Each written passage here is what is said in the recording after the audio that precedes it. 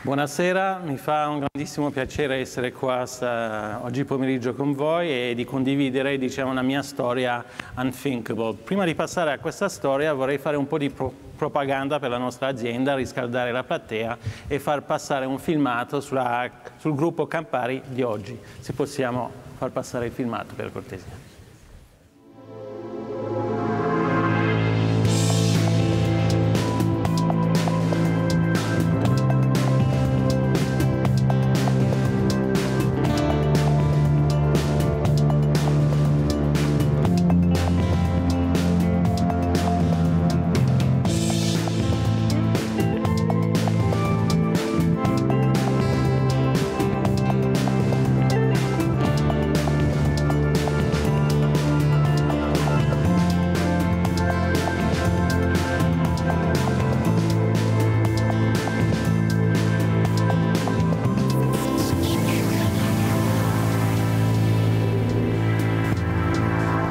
Campari is a major player in the global branded beverage industry, with a portfolio of over 50 premium and super premium brands, with a strong focus on spirits. Campari was founded in 1860 when Gaspare Campari invented the bright red bittersweet aperitif in downtown Milan. In 1932, Campari Soda, the world's first single-serve aperitif, was launched.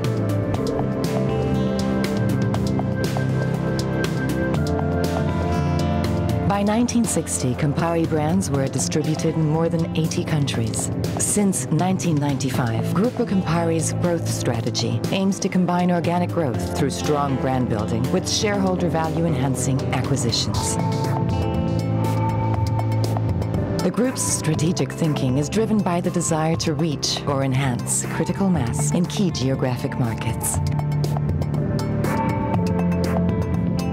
Spirits are the company's core business and where it focuses its acquisition efforts. Gruppo Campari is today the sixth largest player worldwide in the premium spirits industry.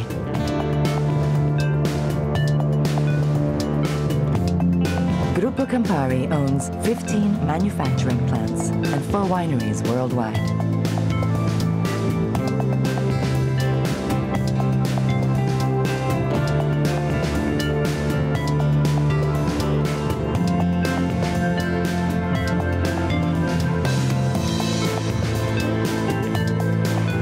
Headquartered in Sesto San Giovanni, the group employs over 4,000 people.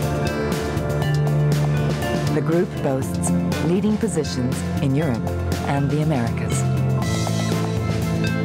The group has its own distribution network in 16 countries and uses local distributors in over 180 other markets.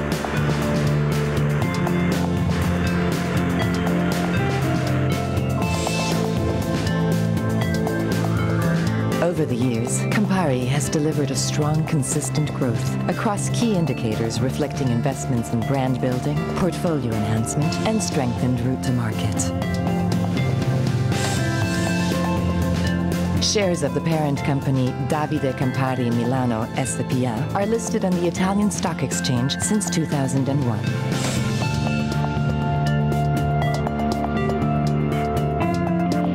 Campari today is in the heart of millions of consumers. Aperitif.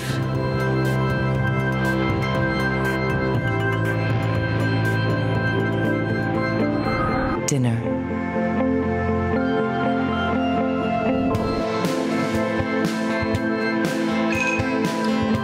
After dinner.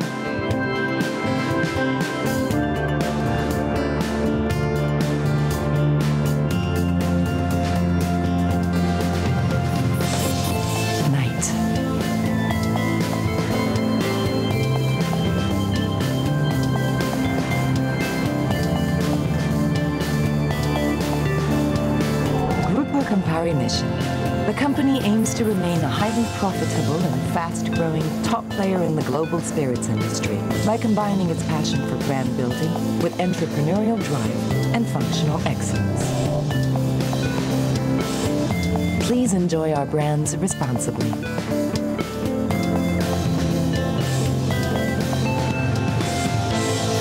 CampariGroup.com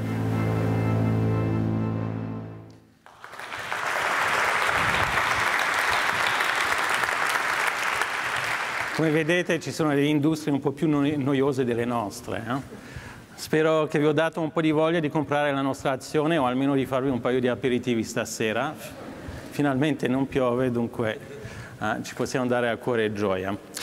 Eh, vorrei raccontarvi la, uh, una, una, storia unthinkable, ma in realtà è la mia storia personale. E, e l'inizio di questa storia fu, e mi ricorderò sempre della chiamata da un bocconiano, nostro presidente, il 19 aprile 2007. Stavamo per andare a cena uh, con mia moglie, io ero il Chief Marketing Officer della, della Campari e avevo ignorato tutti i squilli del telefono e così via, il cellulare, la casa perché dovevamo uscire, poi per scrupolo ho alzato il telefono e meno male era il nostro presidente che mi voleva vedere alle otto e mezza in ufficio e vabbè. Sono andato e mi ha fatto una proposta indecente, era quella di diventare il CEO del gruppo Campari. Chiaramente in quel momento era una, cosa molto molto inaspettata. Io sono un uomo di poche aziende, avevo passato 16 anni in Procter Gamble, sono stato sedotto da Campari, sono entrato, prima di venire a Milano stavamo a Ginevra e mi era molto piaciuto diciamo, il fatto che questo sia un'azienda imprenditoriale che andava lontano. Chiaramente sono una persona ambiziosa, avevo voglia e avevo pensato che avrei avuto una chance di un giorno diventare il CEO della Campari, ma sicuramente non 18-19 mesi dopo essere entrato in quell'azienda. Allora, eh, la chiamata arrivò due settimane dopo il mio quarantesimo eh, compleanno e anche quello era un attimino un po' un shock. E c'erano vari challenge perché poi partì e lasciò il presidente dicendo ci devo pensare, lui mi guardò come se fossi di Marte, come fa uno a rifiutare o non dire subito di sì a una proposta di questo tipo e, e chiaramente eh, dovevo affrontare il mio primo challenge che era di farne un po' la vendita a mia moglie e perché? Perché il challenge qua era doppio. Da un lato l'avevo ingannato dicendo che saremmo andati da Ginevra a Milano, avremmo passato tre anni a Milano, poi saremmo stati per tanti anni a San Francisco. Gli dovevo annunciare che ormai end destination era Milano ma la cosa più seria è, è, era, volevo assicurarmi che avrei avuto veramente tutto il supporto della famiglia, perché chiaramente quando uno diventa CEO e inizia a passare la metà del suo tempo a viaggiare, il life balance cambia. Se non c'è serenità a casa, uno non può essere un manager sereno mi ha dato l'ok, siamo andati avanti e il grosso challenge per me era allora do, avrei dovuto affrontare e ho affrontato due settimane dopo tutto il management del gruppo per la Management Convention a Berlino, la prima fuori dall'Italia. Ero in azienda da 19 mesi, ero, ero nuovo, dovevo trovare il modo di trascinare diciamo, tutti i camparisti e allo stesso modo di trovare un concetto, delle idee intelligenti per prendere un'azienda di grandissimo successo cercare di non distruggerla, ma magari portarla a, a, un altro livello. E quello che vorrei fare oggi è condividere con voi eh, le chart e la presentazione che feci in, in quel tempo a Berlino eh, sei anni fa. Uh, quando uh, mandò le, le, chat la prima volta in Bocconi mi dissero ma cambiamo un attimino il titolo e così via.